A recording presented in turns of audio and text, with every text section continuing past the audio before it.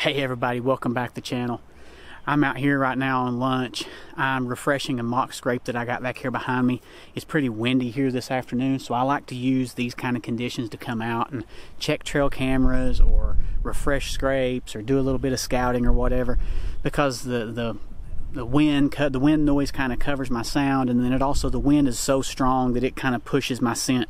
See, I'm on the side of a hill here, so it's going to push my scent way off over into the valley over there. But anyway, thanks for sticking out, sticking around with us on the uh, Deer Journal so far this year. As you've seen, it's been an incredibly slow year, but things are about to pick up. I'm telling you now, things are about to pick up. It's getting that time. We're starting to see young bucks showing up on trail camera now. A lot of activity still nocturnal. The mature bucks are finally starting to show back up again. And unfortunately, they're all nocturnal but it's just a matter of time. It's just a matter of time before they bust wide open. Typically around here, that comes usually between November 22nd and 27th, 28th. So that's usually when peak rut hits, but you start seeing your cruising bucks and they start moving from nocturnal to more daytime travel right about now. So stick with us. Things are going to pick up. I'm telling you, it's going to pick up. Deer activity is going to pick up. We're going to start killing some deer, and uh, just hang out with us. One thing I will say is, yes, occasionally I get comments from people on different social media platforms. People complaining, saying, "Dude, you don't ever kill any deer. I don't want to watch an episode because you're not killing deer." But you know what? For every one comment that I get like that, or message I get like that, I get five or more from people saying what you are showing represents real hunting for the average person. Not everybody out there has a thousand acre lease. Not everybody out there goes to a place that has these god awful large deer populations.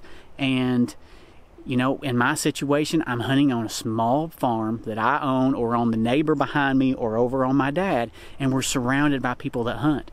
So it's not like we've got a thousand acres where it's just two or three or four of us hunting. It's, you know, one person per 20 acres, and that's all the way around us. In some places around us, people are buying three, four, five acres, and they're hunting on that three, four, five acres right along the property line. So I'm trying to show real world hunting, not let people be discouraged who see these hunting shows on TV where big bucks running everywhere and you walk out into a field with 30 deer in a field. That's not the way most people's hunting experiences go. Anyway, stick with us. I think you're going to enjoy it. Hit that like, subscribe button, leave a comment, and come along with us.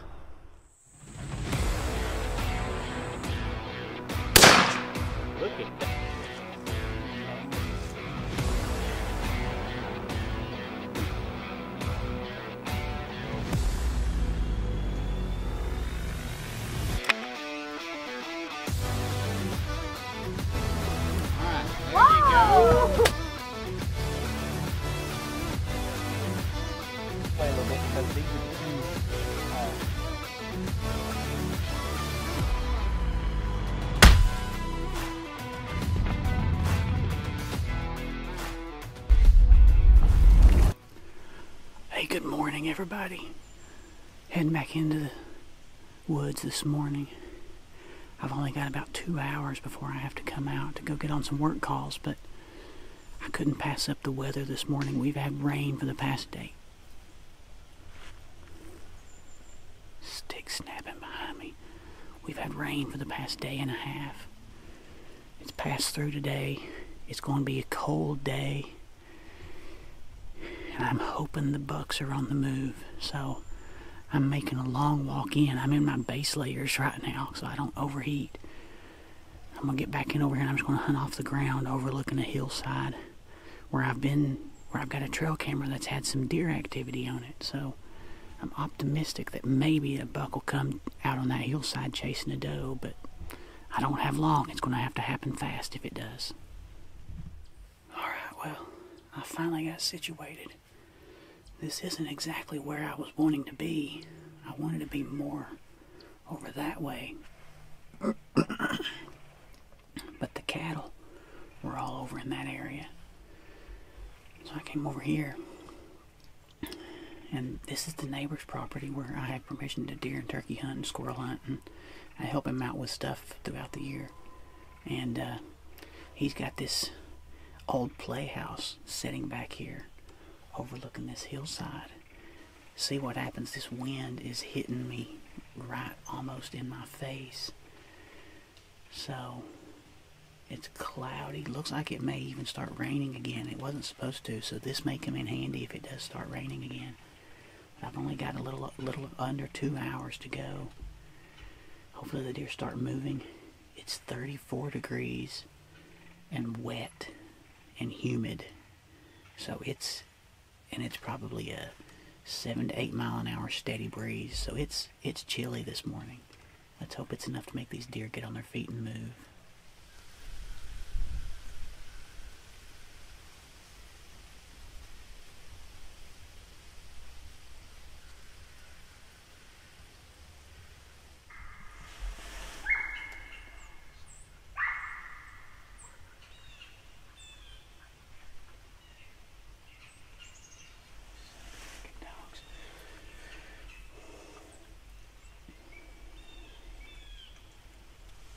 Two sheepdog over there. Two sheepdogs chasing deer everywhere.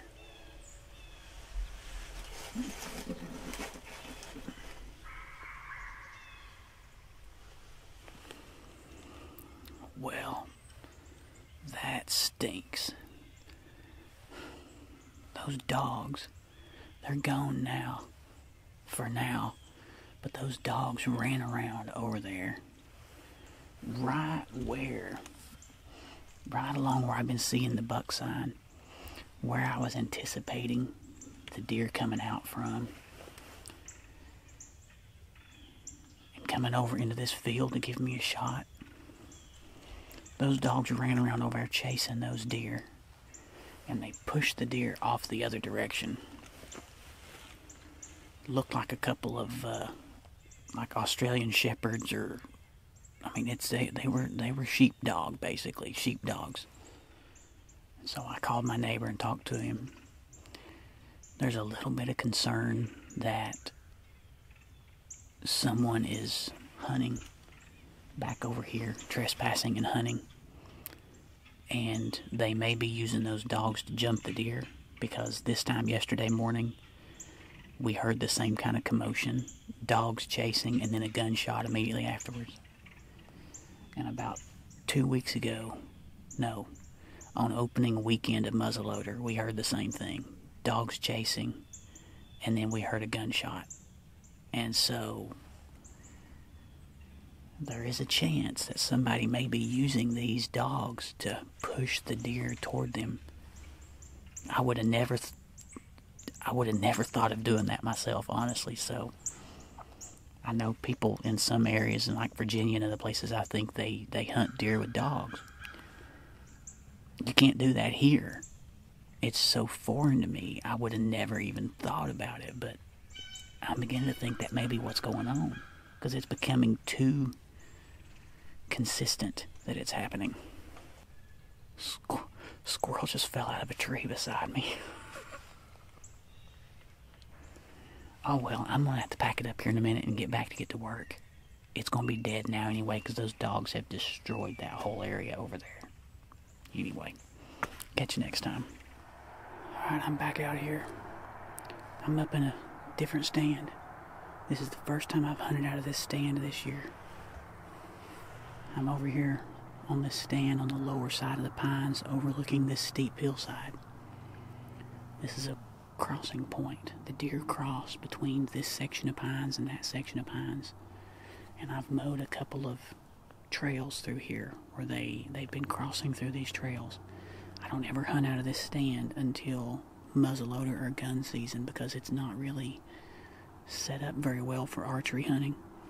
But when you're able to use a firearm, it really opens up a lot of shooting opportunities here for you. So this has been probably my most successful stand on the farm over the past five or six years consistently, so let's see if maybe we can cash in this evening.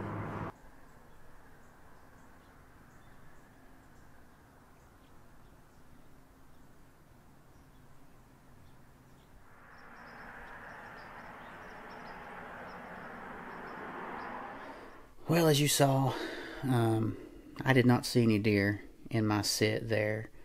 So I came on back out, made the steep climb out of the bottom of the hillside where I was hunting at.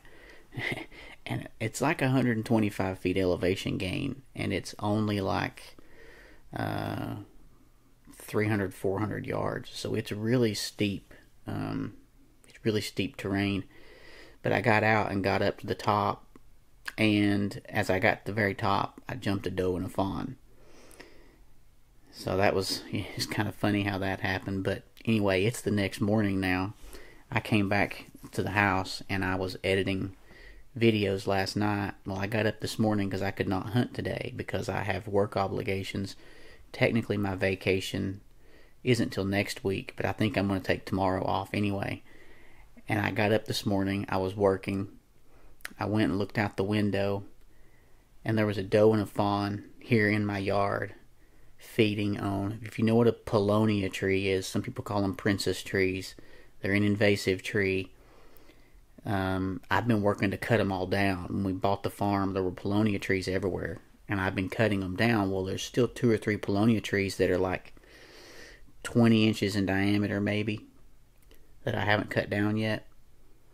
And those deer were eating on the seed pods from the paulownia tree right outside my window, just taunting me, knowing that I'm here working and that I can't be out there. And then I look behind them and there's another doe walking through the field. The deer are moving this morning. Unfortunately, my work has kept me from getting out. If I get my work wrapped up this morning, maybe I can hit it this afternoon, take my son out, and go see what we can do before muzzleloader season wraps up. Because rifle season opens in two days here, and then that's when all the yahoos get out and just start firing shots off at everything they see. So, anyway, all right, well, I'm going to get back to work.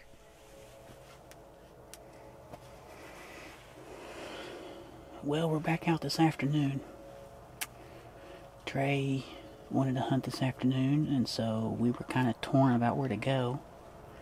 And we ended up deciding to come back to the ground blind just because it's easy and we didn't have a lot of time left to hunt because uh, I had to work and he had to finish his school up. So we've got about we got about two and a half hours now. My brother hunted this morning and did not see anything, although he was really optimistic that there'd be a lot of deer moving, but I don't know. It's kind of weird. They you would think they'd be getting really fired up. We're gonna we're going to give it a whirl. See if anything happens. Have you decided what you're going to shoot? 30 pointer? 30 pointer? Yeah. What if you have a spike come out? Or let's say you've got three or four spikes come through. You to shoot one of them? Does it add up to 30? No, doesn't add up to 30. No. Unless maybe you went to school in Alabama, and then maybe. Alright, well, you feel free to shoot whatever you want to. We are out of meat. I would love to get two deer on the ground in the next week. That would be nice. Alright, folks, stick around. Let's see what happens. Well, my brother's hunting directly across the valley from us, and uh, he just texted that he's got deer chasing over beside him, so Sounds like he's getting to some act activity over there. He didn't say if there was any shooters chasing, but right now, one of the neighbors who's you know several hundred yards away, apparently they're having a lot of landscaping work done right now because it is noisy, noisy, noisy. It is so loud you can't hear anything down in the pines over here. If there was something going on, you couldn't hear it because all that going on down there, but I don't know, maybe my brother will get a shot later and maybe we can go help him drag a deer out or something. Maybe Trey will get a shot. I don't know.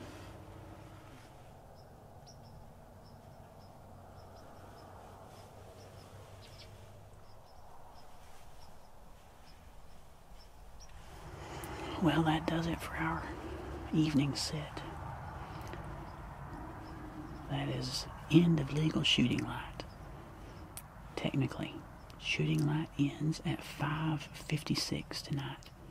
There's still a little bit of daylight left. I mean, you could see to possibly shoot something, but legally, shooting light is over. So we're going to pack up and get out of here. The good news is, though, my brother sent me a picture. He got the big 10 point that he's been hunting for the past few weeks. So we're going to get to the house. To get a little bit of dinner. And then we're going to go over and go see him and see if he needs help with his deer. So that's the good news for the day. But he had deer chasing all around him. But it has been dead over here. Nothing at all. Anyway, let's get out of here.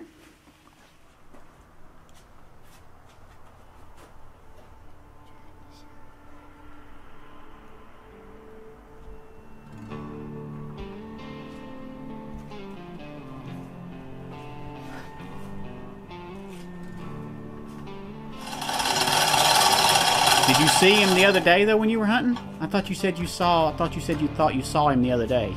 I ain't seen him since archery. Mm. When he was with the.